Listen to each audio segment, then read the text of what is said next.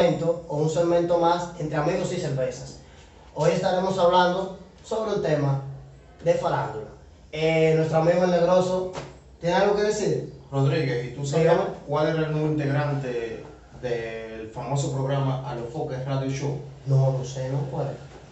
Bueno, hermano, el nuevo integrante de A los Foques Radio Show, según las voces de las redes sociales, No, ya lo focos, lo focos, lo como confirmó. A los Foques lo confirmó, es el pastor y predicador Marcos Yaroide. ¿Qué tú opinas de eso? No, yo no estaría tan empapado del tema, pero eh, no veo eso bien que un pastor esté en ese tipo de programa. No estamos discriminando lo que hace los foques. Eh, mucho respeto, eh, respeto a su trayectoria y todo lo que él hace. Pero no creo que se vería bien un pastor en ese tipo de, en ese tipo de plataforma, a menos que esté llevando un contenido positivo a la sociedad y a los jóvenes. Aún no sabemos, empieza el jueves. A- Asimismo, aún no sabemos, el programa empieza el jueves, pero recuerden bien que el programa de Alofoque se trata totalmente de farándula, chisme y lo que está en la palestra ahora mismo. ¿Tú crees que se corrompa? ¿Tú crees que urbano. eso lo afecta? El género urbano totalmente. Tú no puedes estar. Eso tú sí. ten la- recuerda que tú tienes la carne. Tú no puedes tan, tan, tan a, a- a- adentrarte tanto al mundo. Nunca. Por ejemplo, eh, eh, la Biblia te manda, que lo dice claro, te dice, ¿para qué llevarle comida al que está sano si quien la necesita es el enfermo? Pero aquí vemos lo contrario. El enfermo sabe, el enfermo que necesita la comida, sabe que de verdad la necesita, pero no va y la busca ni se la llevan tampoco. Entonces, a mi entender, el pastor Marcos Yaroide, eh, como consiguió los views de, de su canción, o sea, de la famosa canción de Omega, eh, me miró, aprovechó esa oportunidad. Tú, tú estuvo bien ese TikTok. Ese, bailando ese- ese merengue. ese TikTok, a mi entender, tampoco estuvo bien. ¿Por qué razón? Porque, un ejemplo, ¿cómo tú, cómo tú le dices a tu hijo que no le ponga la mano a ese enchufe si él te ve todos los días conectando la televisión o el radio? Tú no puedes decirle a tu hijo. Hay que predicar con el ejemplo, lo que dice. Tú tienes que predicar con el ejemplo. ¿Entiendes? Entonces, sus feligreses lo vieron a él con ese gesto. Y van a decir, ¿cómo el pastor me va a decir a mí que no escuche música urbana si él hizo un TikTok con música urbana? Entonces yo puedo escuchar Omega, yo puedo escuchar al lápiz consciente, yo puedo escuchar al alfa, yo puedo escuchar, Totalmente. yo puedo escuchar a quien se me dé la gana y hacer un TikTok. Ahora esperemos que el, el segmento del pastor sea algo positivo y que aporte a la sociedad la palabra. Pero recuerda, recuerda que positivo no será. Porque, ¿por qué llegó a los Foques Radio Show? No hay una gente, y yo admiro a los Foques, porque su historia y la mía son más o menos similares. Yo no he hecho la universidad porque yo digo toda mi vida que el universitario en, en este país no vale un peso. no hay, hay falta Pero- de oportunidades que tiene que trabajar. Pero, Sí. ¿por qué no llegó antes a los Foques Radio Show? Analiza.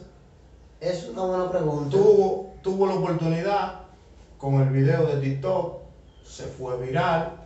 Lo que más le encanta a ese señor, que lo admiro y lo respeto, se llama los views. A los Foques no puede ver nadie que esté por debajo de él.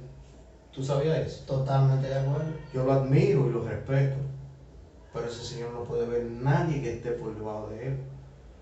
Los views del pastor Marco Yaroide le van a hacer mucho beneficio a su plataforma.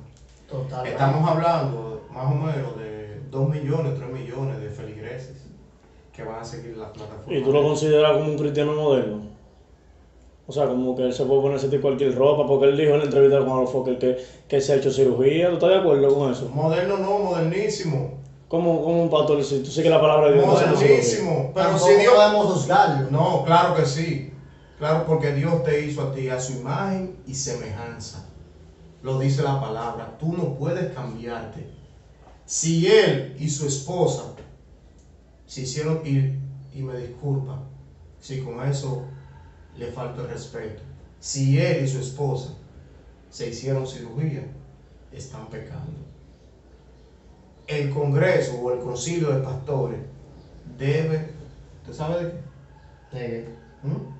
Diga. ¿Usted sabe de qué? No, no de sé. suspenderlo y meterlo en doctrina, porque él está mal.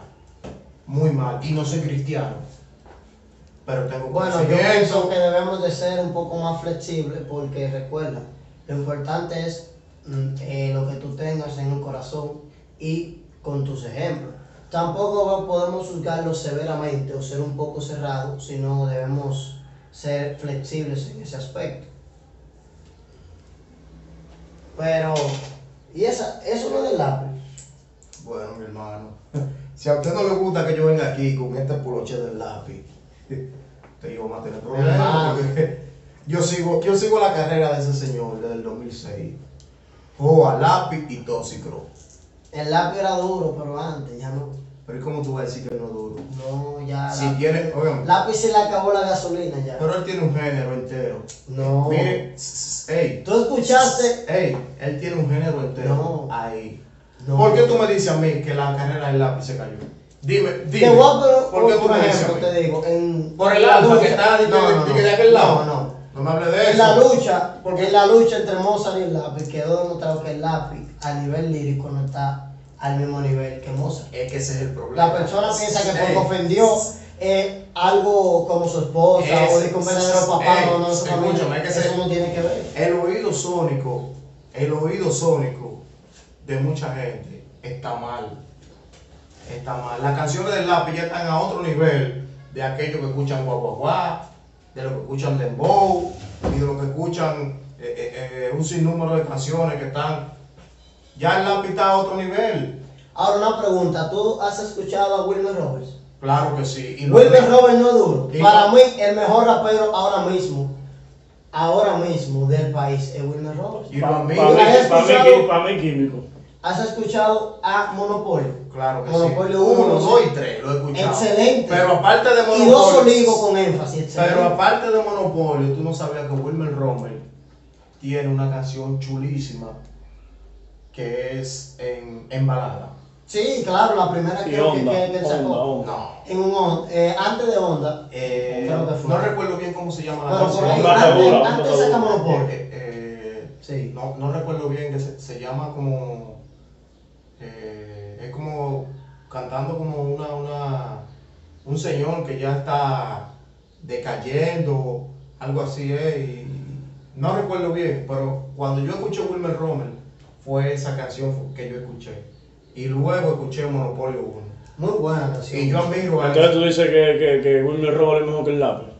Actualmente sí. no yo no estoy de acuerdo contigo mi hermano porque es que el lápiz consciente tiene un género encima El lápiz, el lápiz Oye, consciente No vale, tiene más no vale la trayectoria del lápiz entonces. Sí, va, tiene más trayectoria, pero a nivel de lírica y de talento, Wilmer No, es, es mejor. es que no, no me hables ni de lírica ni de talento, porque si lírica hay, lápiz tiene, y si talento, lápiz tiene talento. Ahora, ¿en qué tú te basas para decirme a mí que Wilmer Romer en la actualidad es mejor que el lápiz En sus canciones, cuando la escucho. Pero ¿y por qué? Si Porque la- escucho la del lápiz y el actual y escucho la de Wilmer Robert y, Wilmer Robert Pero tiene que- más calidad pero que en su letra ese, que el lápiz ese es el, actualmente. ese es el problema que nosotros tenemos como dominicanos. Ese es el problema. Por ejemplo, Wilmer Romer tiene una letra limpia. Nos gusta Wilmer Romer. Pero cuando escuchamos al lápiz consciente con una letra limpia, criticamos al lápiz porque está cantando con una letra limpia. Entonces queremos eh, eh, malapalabreo y disparate. Ahí el lápiz es duro. Somos doble moral en cierto sentido. ¿Entiendes? El lápiz trató de cambiar su letra y lo llevaron de nuevo a lo que quiere el bajo mundo.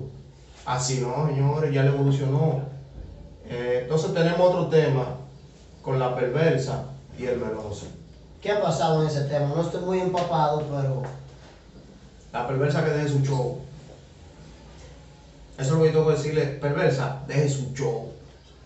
Si u- deje su loquera. Que ya usted cogió los views que usted iba a coger. Usted se pegó dos discos, tres discos. Y olvídese del mundo. El meloso la llevó donde usted está. Ahora que usted no quiere majar con el meloso, son otros 500. O yo, pero deje su loquera. De que usted no lo quiere llevar de que una querella para el cuartel. Deje su loquera, que esos views no se le van a sumar ya. Ella, ella pide una orden de alojamiento. una orden de alojamiento lo llama todos los días. Aleja- alejamiento, Una alejamiento. orden de alejamiento lo llama todos los días. Que me diga eso ella misma. Dígame usted.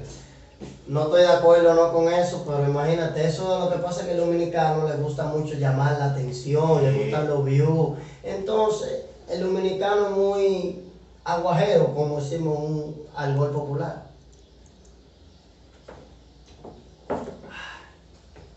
Pero, imagínate, espero que ese tema se arregle. Pero no, no hay más nada, no tengo más nada que aportar sobre ese, esa discusión, ese tema. Para los nuevos talentos que quieran grabar sus discos, Pistolero Inc. Síganlo en Facebook, Twitter e Instagram.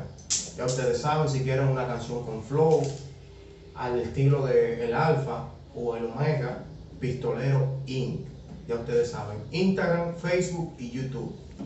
Para contrataciones, 849-357. Mala mía, mala mía, mi gente. 849-205-4798. Pistolero Inc. con moneda. Bueno, ya saben mi gente, eh, fue muy agradable tenerlos con nosotros. Ok, para aquellas mujeres que quieran estar más lindas y salir más guapas y tener los mejores productos de calidad, Organic XM, búsquenlo en todas las redes sociales, Instagram, Facebook, eh, lo mejor del mercado. 849-357-68 par de 8. Esto ha sido un segmento más entre amigos Y y, cervezas. cervezas. Salud. Dejen, déjenos sus comentarios qué les pareció el segmento, díganos eh, nue- nuestras cosas positivas y comenten sobre este tema, qué les pareció.